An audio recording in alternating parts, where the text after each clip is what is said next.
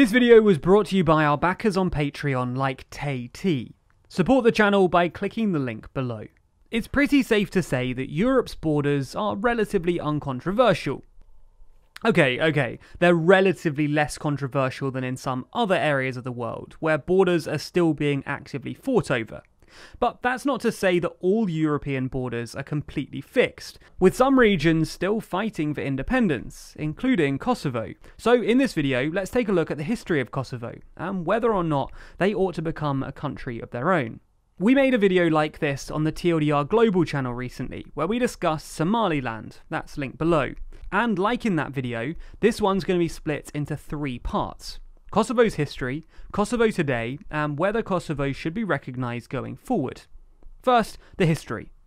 Without getting too bogged down in the ancient origins of Kosovo, let's roll the clock back to 1912, just before the Balkan Wars.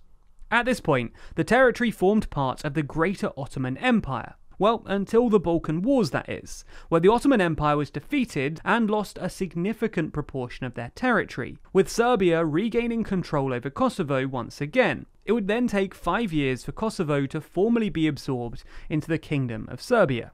Fast forward some 23 years, and at the height of the Second World War in 1941, Kosovo transfers hands again, this time to the Italian controlled Albania. After the war ended, in 1946, it was absorbed into the wider Yugoslav Federation as an autonomous province of Serbia, which is where things began to get interesting. At this point, the 1947 Yugoslav constitution enshrined Kosovo's autonomous status, widely seen as the first step on the path to full independence. Well, that would have been the case had it not been for a separatist uprising which in 1989 led to Serbian President Slobodan Milosevic reversing Kosovo's autonomous status and imposing direct rule from Belgrade. In response, ethnic Albanian leaders who had been cast out from government by Milosevic established a parallel government and subsequent armed resistance, the Kosovo Liberation Army. This, combined with the breakup of Yugoslavia, meant an armed conflict ensued very soon after, culminating in a NATO ultimatum in September 1998. President Milosevic ultimately failed to come to an agreement, which gave NATO the excuse it needed to intervene forcefully, NATO launched airstrikes over the course of 78 days before an agreement was finally reached. Troops would be withdrawn from Kosovo, with the UN establishing a Kosovo peacekeeping force backed by NATO. The United Nations Security Council subsequently adopted Resolution 1244, which authorized the broader deployment of the international security apparatus and formally established the United Nations Interim Administration Mission in Kosovo. This is, however, far from the end of the dispute by any stretch of the imagination. Even with a power sharing agreement in place, in 2004, violent clashes occurred between the Serbs and ethnic Albanians, leading to the death of 19 people. Such deadly clashes led to the contact group getting involved. Originally established to deal with the situation in Bosnia, the Contact Group is an informal grouping of countries made up of the US, UK, France, Germany, Italy, and Russia, who collectively have influenced and continue to influence the course of events in the Balkans. In November 2005, they produced guiding principles with regards to Kosovo and the dispute over its status. Said guiding principles included no return to deadly clashes or confrontations, no changes to Kosovo's borders, as well as no partition or union of Kosovo with a neighbouring state. Within a few years, on the 17th of February 2008, Kosovo unilaterally declared independence. The very, very next day, the United States, the UK, and France formally recognised Kosovo as a sovereign and independent state. Serbia, backed by Russia, nonetheless rejected said declaration, claiming it was illegitimate.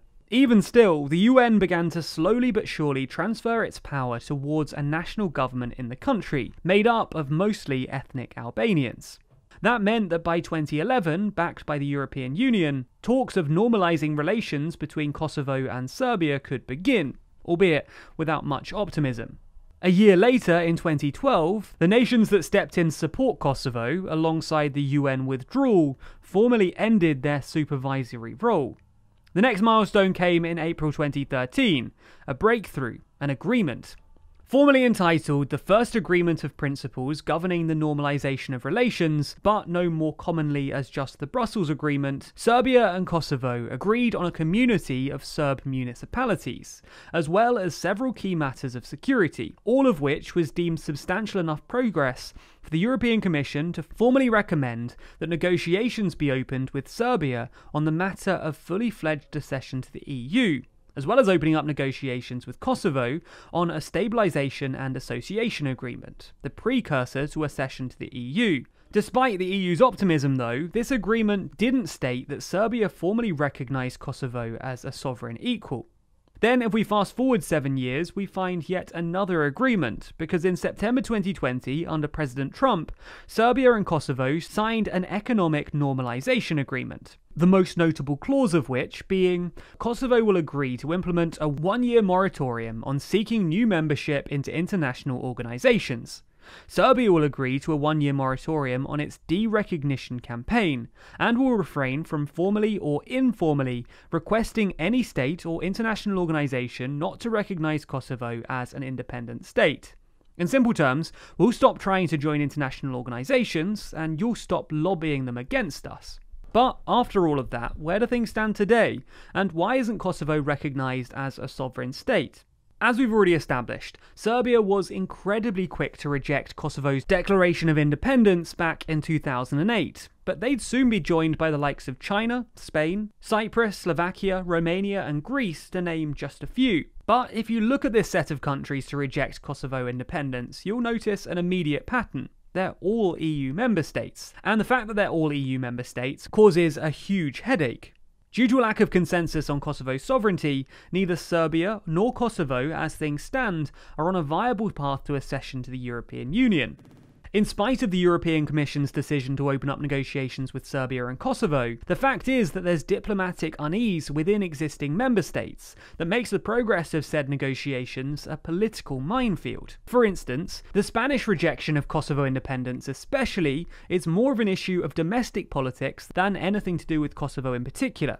Were they to accept the unilateral declaration of independence from Kosovo, or any other state or region for that matter, it would put enormous pressure on the Spanish government to allow Catalonia to do the same, something it wishes to avoid at all costs. Political wrangling aside, does Kosovo actually meet the conditions to be an independent country? There's far from a consensus on what makes a country a country, but Kosovo has its own legislative assembly, defined borders, is a member of the IMF and World Bank, conducts its own foreign affairs, and has its own economic independence. So it certainly ticks a lot of the boxes. In fact, the matter of Kosovo independence has actually been settled by an international court. That's because in October 2008, the United Nations General Assembly requested that the International Court of Justice ruled whether or not the unilateral declaration of independence by Kosovo was in accordance with international law. In July 2010, the court did just that, concluding that the declaration did not violate international law. So, case closed then. Why have we even made a video on this? Well, because it's actually far more nuanced than just this legal opinion.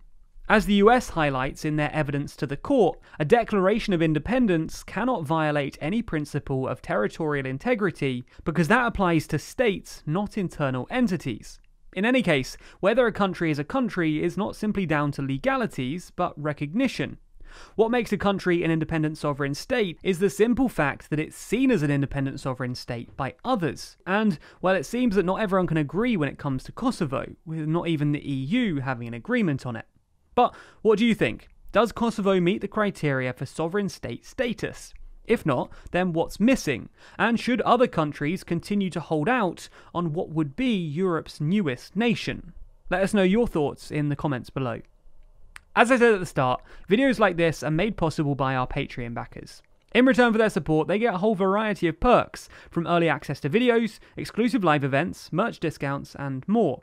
Find out what you can get and sign up by clicking the link in the description. Also, be sure to subscribe to the channel and hit the bell icon to be notified every time we release a new video.